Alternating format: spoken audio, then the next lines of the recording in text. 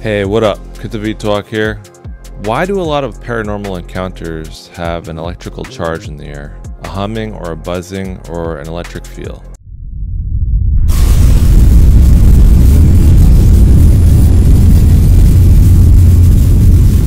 I keep hearing a recurring theme in a lot of paranormal videos, and that is the electrical charge feeling in the air, humming, buzzing, or crackling.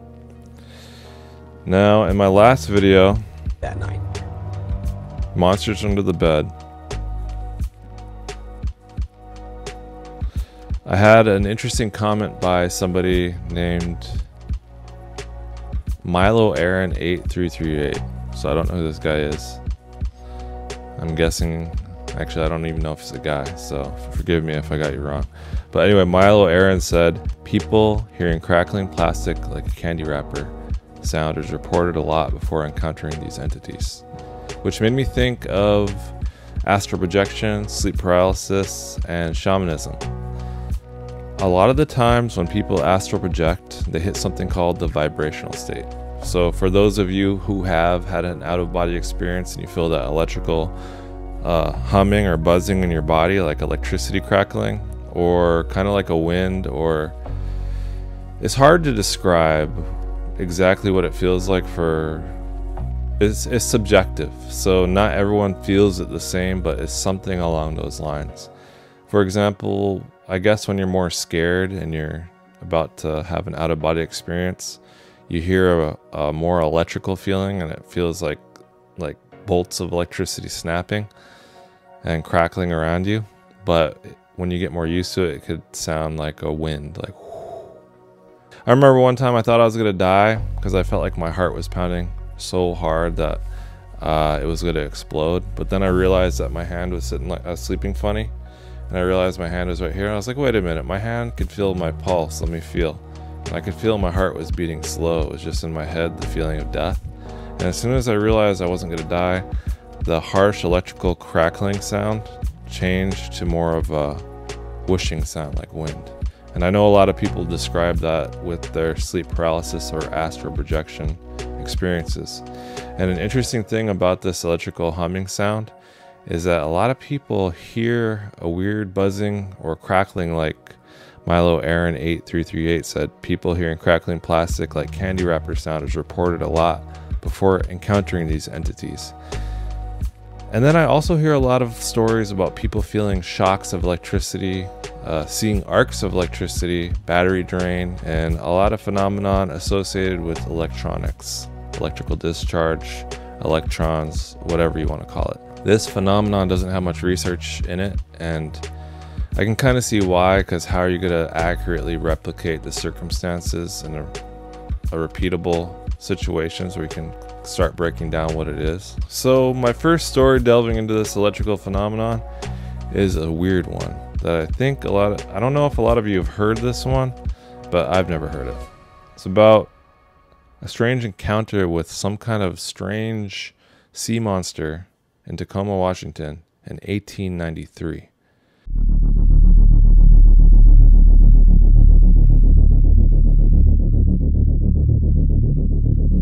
The morning of July 2nd left an indelible mark on a group of Tacoma gentlemen.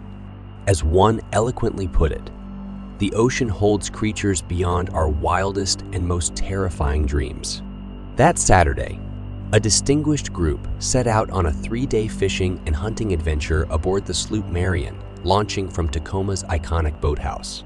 The crew included William Fitzhenry, the renowned auctioneer, H.L. Seal, W.L. McDonald, J.K. Bell, and Henry Blackwood, joined by two gentlemen from the East, Interestingly, one of the Eastern guests chose anonymity, hinting at a recent treatment called the Keeley Cure.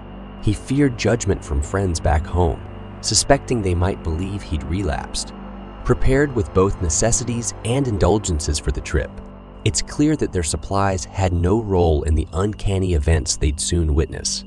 Relaying this tale, I endeavor to be true to their accounts and leave the final judgment of its authenticity to each reader. The Eastern gentleman recounted, Our journey began around 4:30 p.m. on July 1st. Guided by the southeast wind, we steered towards Point Defiance. After anchoring there around 6pm and indulging in a bit of successful fishing, Mr McDonald, noting a strengthening wind, suggested we set sail for Blackfish Bay on Henderson Island.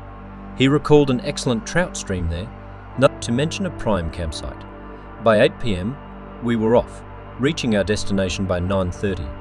We quickly settled in, securing the boat and setting up camp on shore.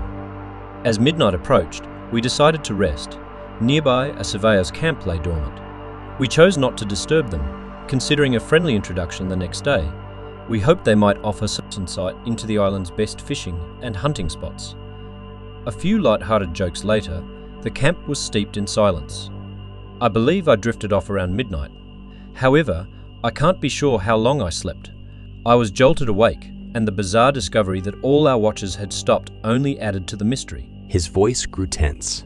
It's hard to convey the sheer intensity with which we were awakened. Since the creation of the world, I doubt if sounds and sights more horrible were ever seen or heard by mortal man. I was in the midst of a pleasant dream when, in an instant, a most horrible noise rang out in the clear morning air. Instantly, the air was filled with a strong current of electricity that caused every nerve in the body to sting with pain. A light as bright as that created by the concentration of many arc lights kept constantly flashing. At first I thought it was a thunderstorm, but as no rain accompanied it, and both light and sound came from off the bay, I turned my head in that direction. If it's possible for fright to turn one's hair white, then mine ought to be snow white, for right before my eyes was a most horrible looking monster. By this time, every man in our camp, as well as the men from the camp of the surveyors, were gathered on the bank of the stream. As soon as we could gather our wits together, we began to question if what we were looking at was not the creation of the mind. However, we were soon disabused of this idea, for the monster slowly drew in toward the shore.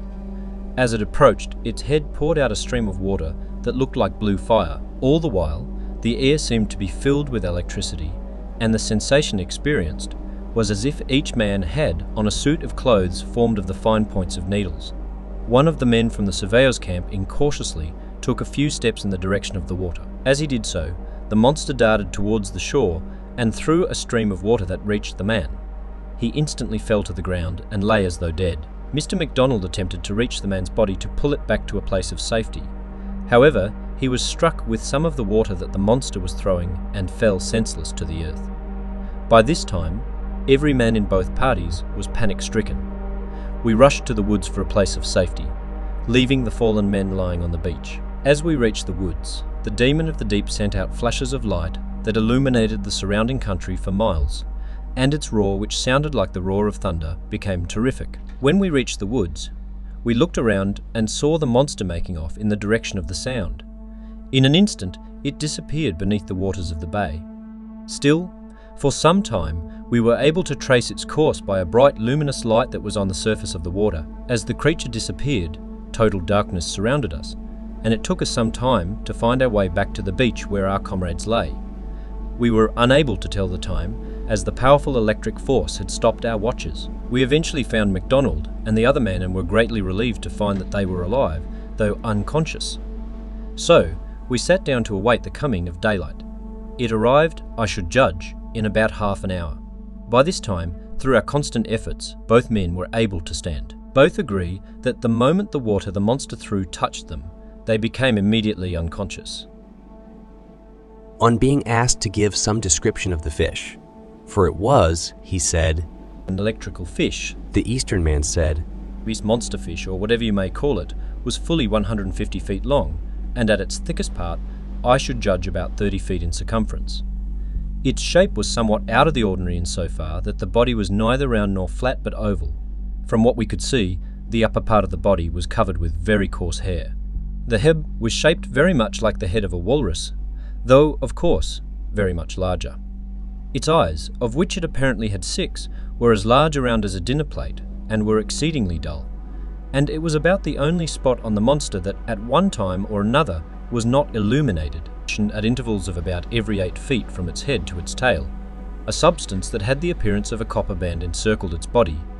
It was from these many bands that the powerful electric current appeared to come. The bands nearest the head seemed to have the strongest electric force, and it was from the first six bands that the most brilliant lights were emitted. Near the centre of its head were two large horn-like substances though they couldn't have been horns, for it was through them that the electrically charged water was thrown. Its tail, from what I could see of it, was shaped like a propeller and seemed to revolve. It may be possible that the strange monster pushes himself through the water by means of this propeller like tail. At will, this strange monstrosity seemed to be able to emit strong waves of electric current, giving off an electromotive force which causes any person coming within the radius of this force to receive an electrotonus. This fish probably receives its power from some submarine cavern of volcanic origin, which, owing to its peculiar construction and having an extra large deposit of copper, charges the fish that inhabit that region with a strong electric force. The peculiarly shaped copper-like bands may be caused by the strong magnetic force of the fish and the copper deposits of the ocean. The strong current would form the copper into a solution, while the strong attraction of the fish would naturally form an electric battery, drawing towards it this solution, thus forming deposits on the fish. In reality, the electric fish is completely encompassed in copper, and its rapid movement through the water constantly generates frictional electricity. This, I should judge, would in a measure account for the fish being so constantly, powerfully charged with electricity, though far from its original source of supply. One of the strange characteristics of this fish, and one by which it undoubtedly obtains its food, is its higher electric control of dense and foggy atmosphere surrounding it. This amalgamates with the electrification of the fish, making a potential which causes any living creature, such as birds or insects, flying through the air to fall dead into the water. Of course, that is merely a theory, and I may be mistaken as to its origin or where it goes to, but one thing I do know I would not encounter the same monster again for the universe. You can ask the rest of the party, and you will find that they all agree with me that to be within such a short distance of such a terrible monster, yet live to tell the story, is something that only happens once in 1,000 years. I hardly need to tell you that we were not long in getting underway for Tacoma, and I can assure you that I have no further desire to fish anymore in the waters of this bay. There are too many peculiar inhabitants in them. I am going to send a full account of our encounter to the Smithsonian Institute, and I doubt not but what they will send out some scientific chaps to investigate. Now I must be going, as I have to leave on tonight's train, but if you need any further particulars, you can obtain them from any of the party. No, I do not know who composed the survey party. All I know about them is that they are from Olympia and that they were on the island running farm lines on some disputed land. Tacoma Daily Ledger, 3 July 1893.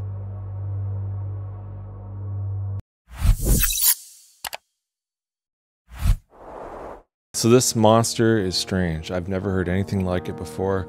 A walrus-headed sea serpent that had electrified water, copper bands around his body, and it was shooting electricity everywhere. People could feel the electrical charge in the air.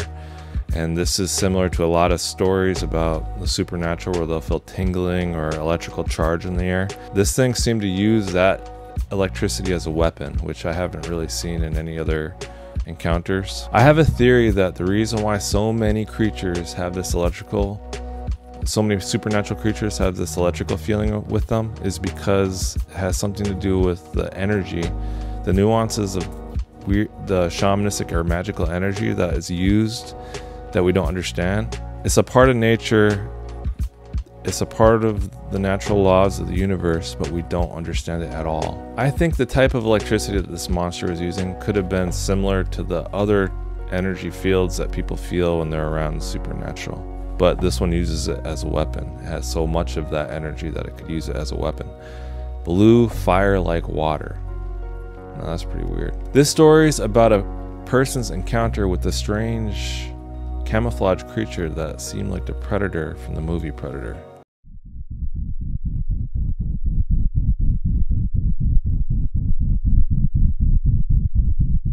I was walking along the hillside, just beyond the abandoned buildings of the old West film set at Bradshaw Ranch just outside Sedona, Arizona.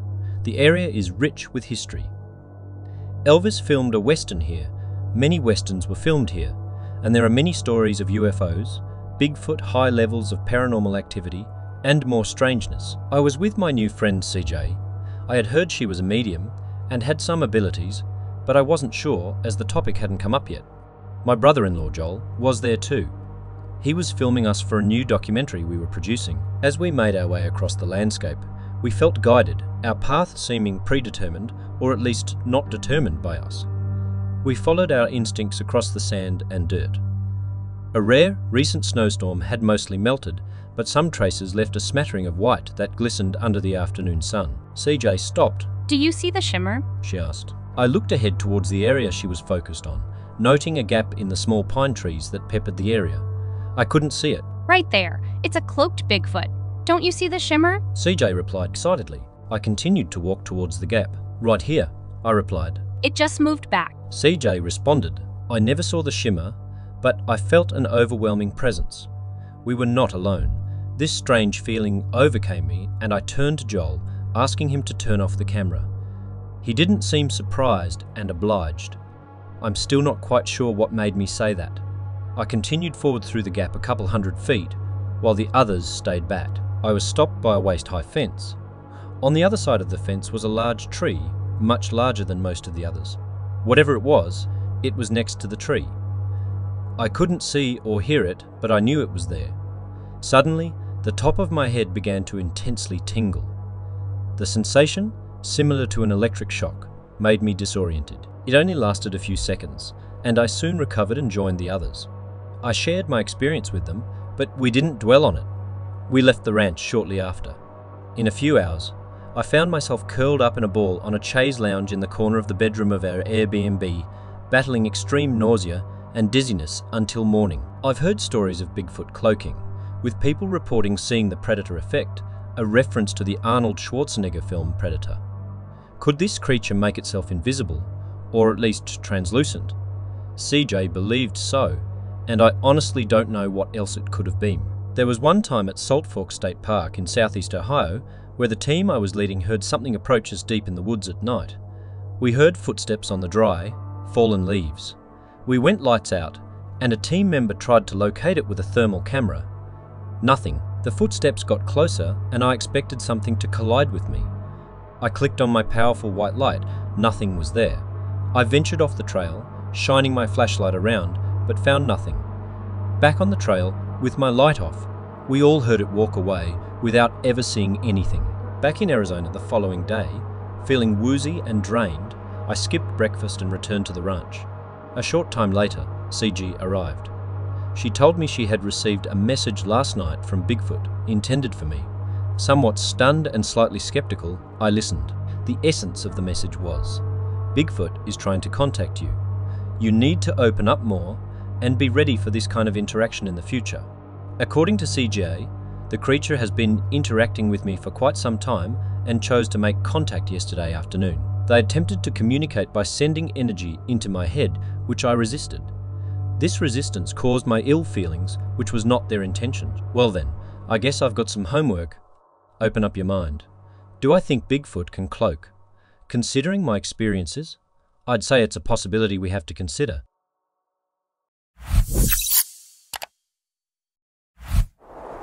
This thing's often called the Glimmer Man. It's like the Predators. It goes invisible and you can see through it. It's translucent. Optical camouflage that can bend the light.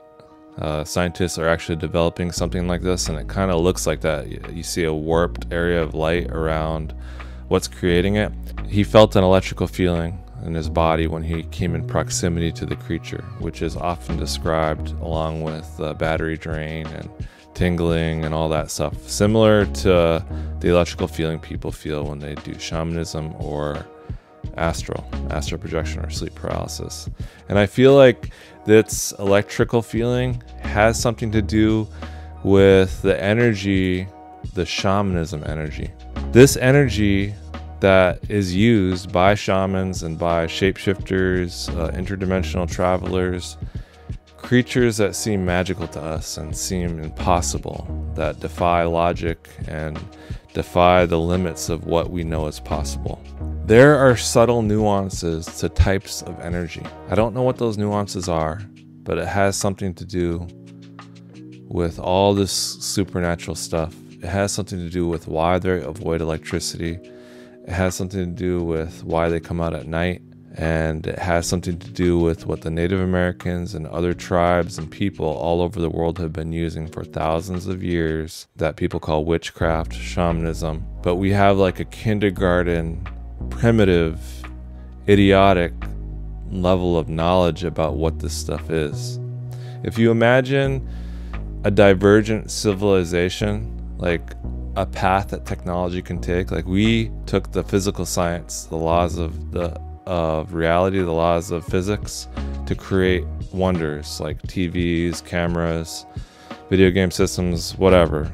The things that we take for granted on a daily basis, a thousand years ago, 500 years ago, would be considered magical, amazing. I feel like there is another path that a civilization could take in the sciences, and that's with shamanism. I think there's a whole science, there's a way to control and understand how these energies work. And other civilizations out in the universe or in the multiverse are using this type of knowledge and basically walking circles all over us.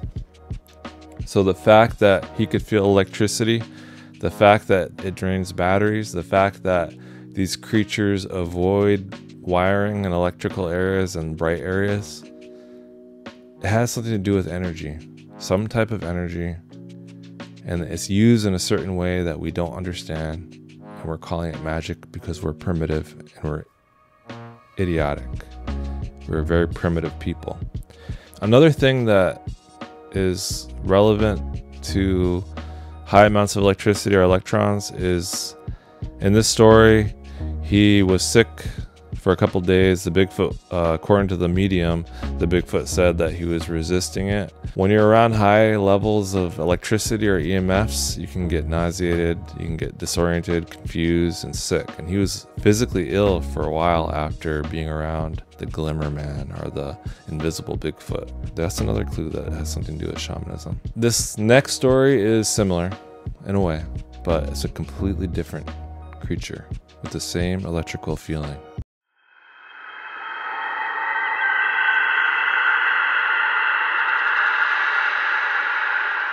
This happened back in July 2004. I was living at my mother's house during summer after my freshman year of college. I was 18 years old and had actually lived in the house for a year and a half before moving away for school. My mother had moved there when my parents split up in the spring of 2002. Blah, blah, blah. I had a lot of weird things happen to me. My whole life in a variety of locations. But this incident was the worst and I think it had to do with two things that happened that day. Got in a fight with a girl I was talking to, and may have thrown a little temper tantrum about it that morning. Petty, yes, I know. Out of respect, I met up with some friends and attended the viewing of one of our friend's father who had passed. Afterwards, I hung out with those friends and drove back home by midnight. No drinking or anything, but I remember being in bed by 1 a.m. as I had work the next morning. I want to make this experience easy to understand, so I'm gonna bullet point. What happened next? I'm laying in bed, one leg sticking out from under the blanket. All lights are off, and my ceiling fan is going. I can feel the breeze on my bare leg. I'm basically just trying to pass out since I had work really early. The door starts creaking open. That classic, kinda haunted house creaking sound. Now, nothing had ever happened in this house before, nor had I heard any stories, so my brain had no reason to start freaking out. The door keeps creaking. At this point, I think what the fuck is with the door, but I don't bother to look. I'm still trying to pass out. The room suddenly goes dead quiet, and I distinctly remember feeling the breeze from my ceiling fan stop as my exposed leg started to actually warm up, like a weird hot sensation started. This is important. Just as I felt the air in the room stop moving and my leg get this burning sensation, an electric shock went up my back. It is very hard to describe. It was like a tingling jolt that could almost match being punched in the stomach. Immediately, or instinctively, I guess. I threw the covers over my face because I just knew something was in my room. It was like something I may had felt before, as a little kid, but repressed. I immediately knew that electric spine shock meant a ghost. In a split second, freak out under the covers. I knew I had to get out of the room.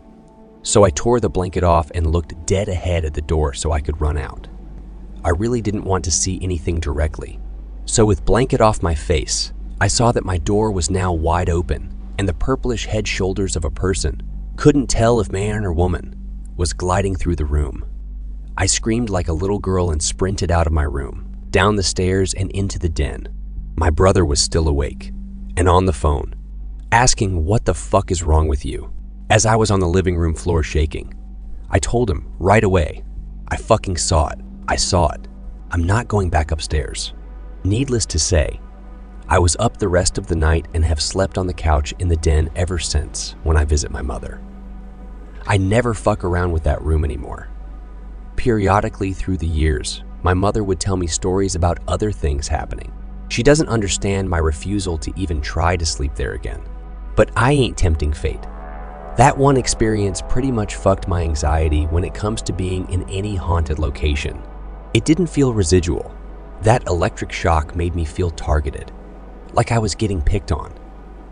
The more I thought about it over the years, maybe that electric sensation was like a straw where the ghost used whatever energy it could get out of me to create something visual. I don't know. Maybe because it had been such a stressful day that there was enough emotional juice to fuel such a manifestation. Other things have happened since, but nothing like that. It was a full purple mist figure, not more than four feet from me, moving through my room. By far the scariest and most traumatizing thing I have ever experienced. Shadows, voices, objects moving. Yeah, all bad. But when the shit is a physical mass that can actually send some sort of electrical charge at you, I'm out. So I post this story because I want to know if anyone else ever felt that spine tingling shock. It's like a rush you get when someone scares you but completely rooted in your back. Hard to explain. I figure since it happened to me and it felt familiar, that other people have probably been struck by it as well, just before witnessing something paranormal. Sorry for the length, but I always enjoy discussing this occurrence because all my memories of it are so vivid.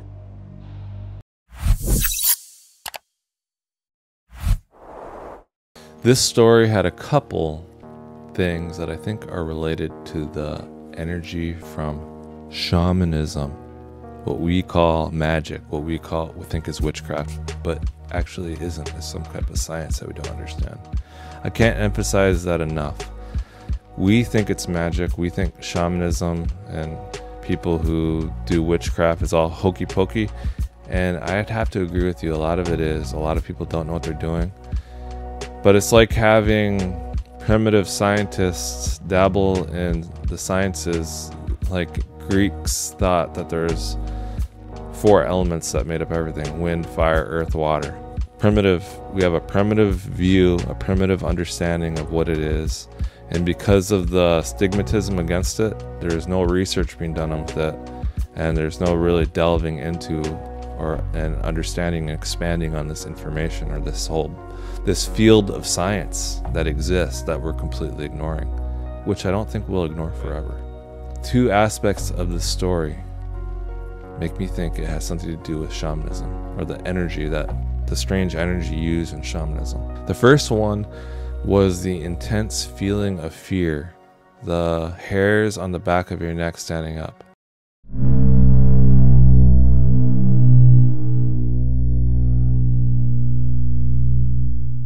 In recent discussions on the neurological foundations of our emotions, particularly fear, the amygdala emerges as a central figure.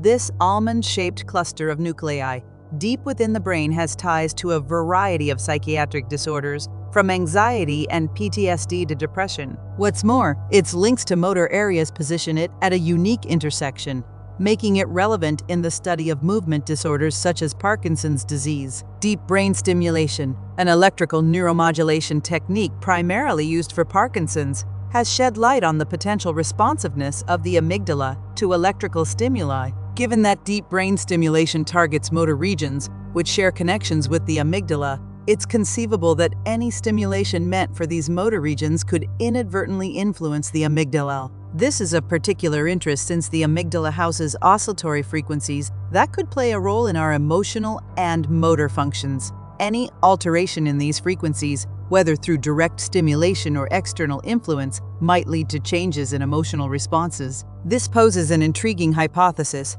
Could high levels of certain frequencies of energy, particularly intense electromagnetic fields, trigger a fear reaction in people.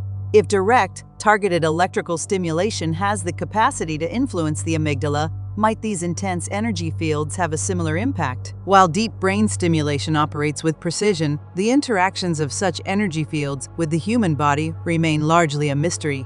If the amygdala proves susceptible to these fields, it could provide insight into instances where individuals experience feelings of unease or fear when exposed to areas with significant energy concentrations.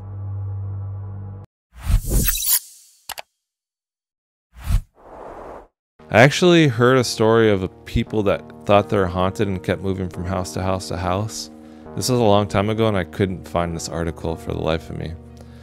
But it turned out that their radio had a broken emitter, and it was emitting a strange frequency of electricity, and that strange frequency was causing a very eerie, creepy feeling, which told me that just because it feels scary doesn't necessarily mean it is or it's evil. It's just a visceral knee jerk reaction we have to some type of strange energy that we don't understand. And a lot of people get scared when they're encountered with an alien sensation or thrust into the unknown like that.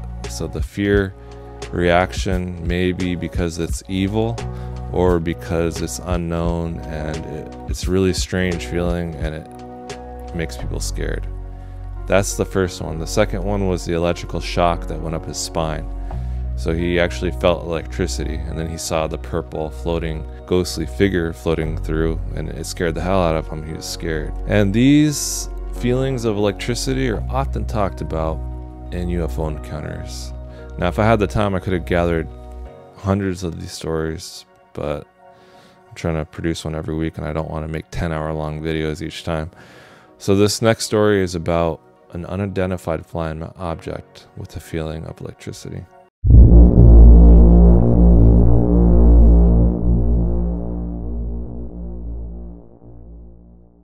Were having a family friends get together to celebrate a birthday. During the celebration, two of my nephews and a niece came tearing into the house, screaming at the top of their lungs, saying that a plane crashed in one of the adjacent pastures. My brother, myself, and about three others walked outside to see what was causing all the ruckus. We didn't see anything out of the ordinary except a strange burning smell that smelled like burning mesquite. We didn't think anything of it since it was kind of nippy and someone could have been burning some wood in their fireplaces. We told them to show us where they saw the plane go down, and we walked over to the place they showed us. The first thing we noticed was that all the dogs in the area were going bonkers. They were barking up a storm, like they were all seeing the same thing. The area we live in is pretty much a rural community, unless you live in the city of Monahans, Texas. Many of the houses are set on large plots of land, usually four to five acres per house. Although we can see the houses of many of our neighbors, and we do have traffic on the road, you do get the feeling of being all to yourself out here. Some of the land by our house is overrun by wild mesquite trees. Only a small portion of the land surrounding the house is cultivated and cleared out. Beyond the stand of trees runs a small barbed wire fence that separates us from our neighbors, who I could see were home from the lights on in the house. We walked around the edge of the trees, not wanting to really go into the stand at night. Even though it's technically winter, there could be rattlesnakes seeking shelter in amongst the trees, not to mention that mesquite trees have some wicked thorns that protrude from them.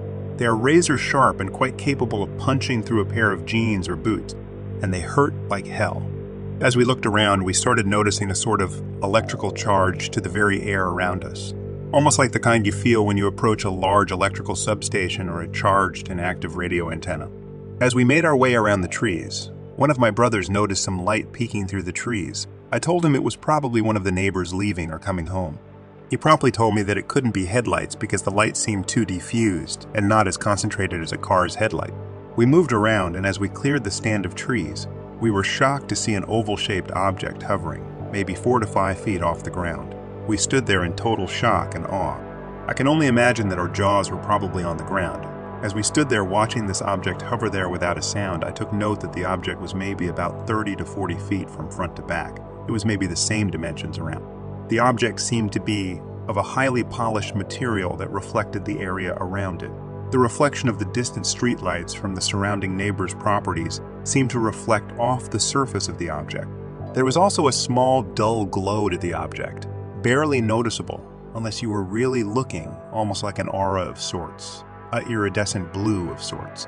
As we stood there in total shock, my brother next to me expressing his disbelief, we saw two strange looking men appear from around the object. They at first didn't notice us. They were busy running around and gathering objects from the ground, from the trees. They didn't seem to notice us at first.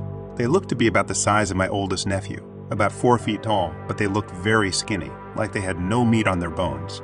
Their heads were large and their arms were long, skinny, and hung down around their knees. About this time, my two nephews came walking up behind us, scaring the hell out of us.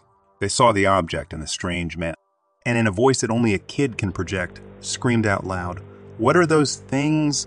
That's when the creatures turned and noticed us. The sight of these creatures was something that will haunt me till the day I die. It turned and looked right at us.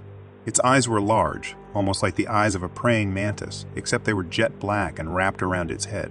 The two creatures looked at us for about seven seconds, not an ounce of movement, before they calmly walked around the craft, one right after the other. They disappeared behind the craft and we never saw them again. A few seconds later, the craft lifts up, not a sound coming from the object, no rush of wind, not even a swaying of the nearby branches of a mesquite tree. It rose quietly and hovered about 40 feet from the ground and shot out like a bat out of hell. As it zoomed away, it started glowing and made it easier to track as it zoomed away, getting higher and higher till it faded away. We stood there in complete silence as we tried to make heads or tails of what the hell we just saw. My brother finally piped up and said, Should we call the police? After which I burst out in laughter and replied to him and tell them what. My nephew looked like he had just seen the devil himself, which, considering what we just saw, I don't blame him. He didn't want to talk about it, and after we made our way back to the house, he still didn't talk about it. I tried to ask him about it yesterday, and he basically told me that he didn't want to think about it yet. He was still processing what had happened to him. I was more than happy to leave it at that. I never really believed in the subject of UFOs or aliens, but after the events of this night, I'm seriously going to reevaluate that belief. I know that I plan to keep my mind open and start looking up towards the sky a little bit more from now on.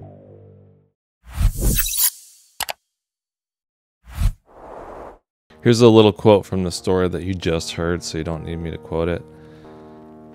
We started noticing a sort of electrical charge to the very air, as similar to the weird walrus headed monster, as similar to the strange creature floating through the room, and that's similar to the glimmer man or invisible transparent Bigfoot that was in the area. These aren't the same things. UFO, the UFO little alien things are not the same as Bigfoot.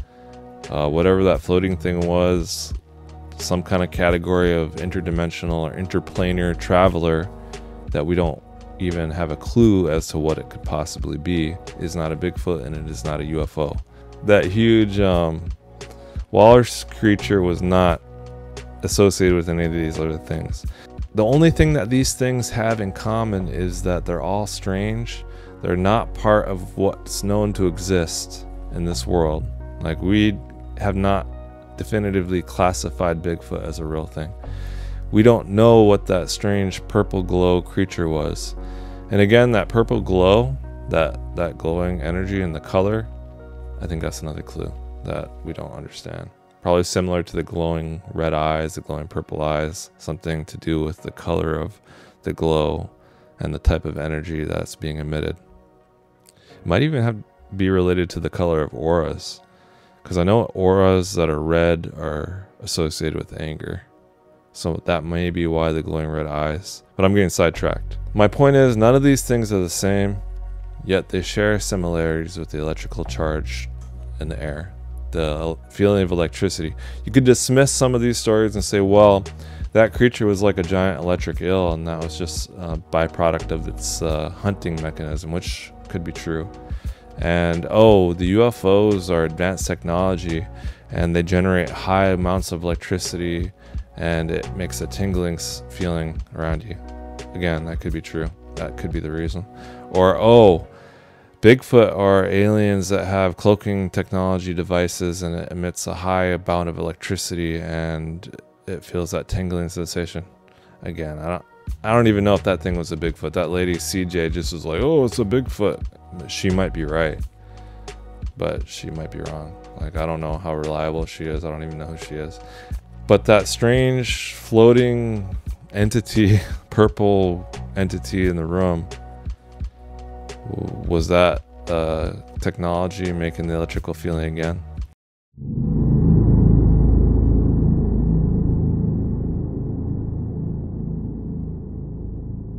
When my dad did telekinesis, he pointed at a pot and he was in a room. The pot was empty, didn't have water in it, it was just sitting on a shelf.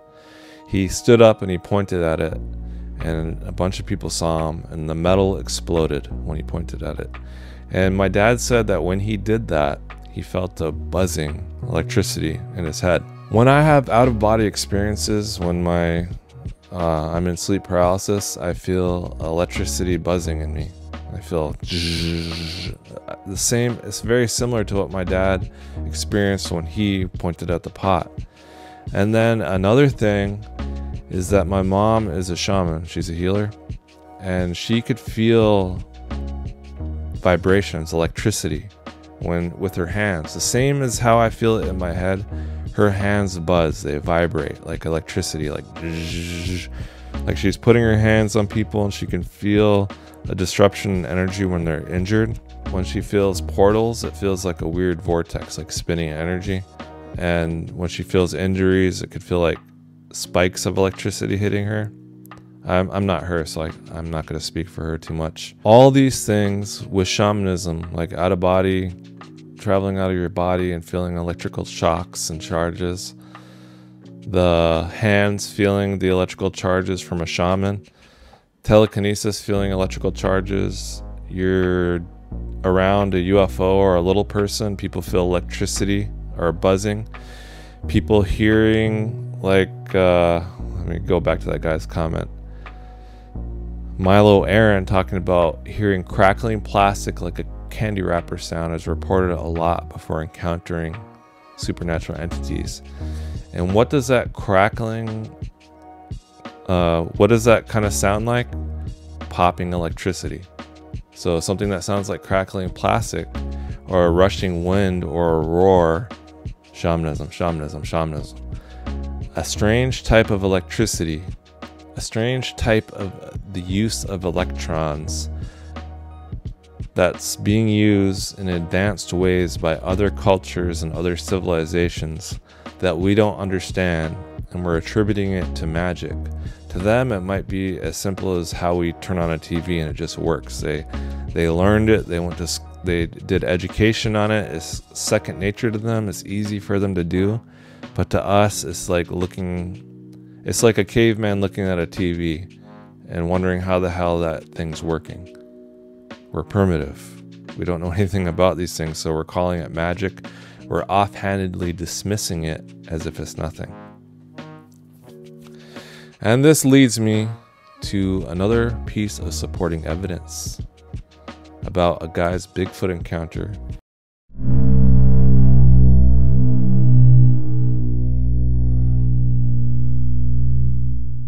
This is from the History Channel. The proof is out there. Alarming noises follow a teacher. The proof is out there. Alarming noises follow a teacher.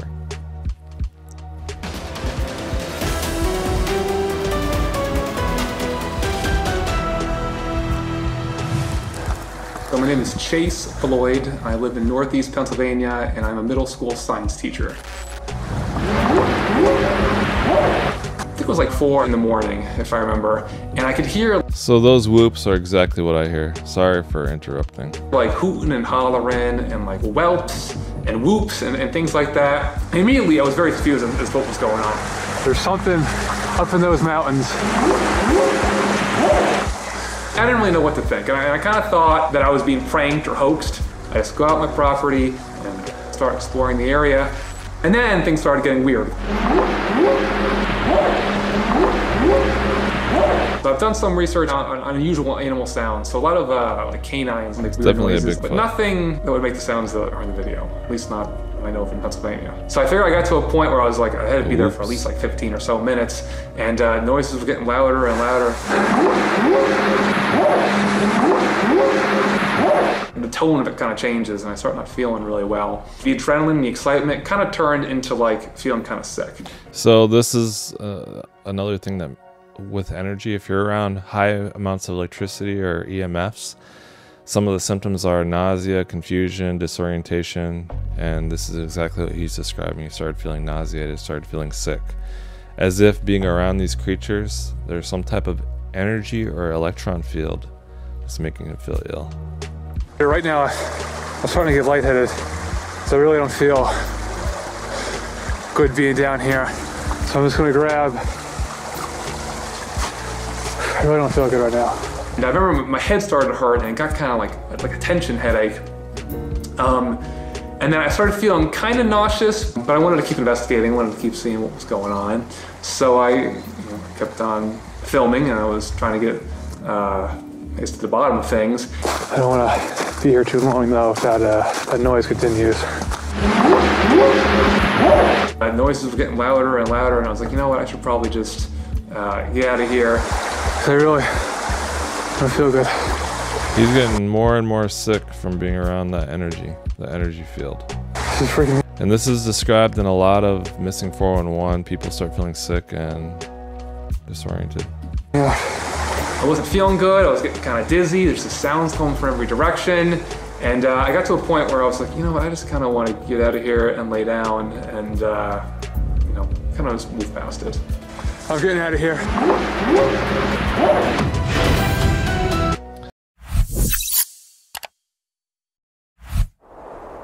So this guy got sick. He just like the story with CJ and the Glimmerman, the invisible Bigfoot. He started feeling sick when he was next to the Bigfoot, and this guy started feeling sick when he was next to a Bigfoot.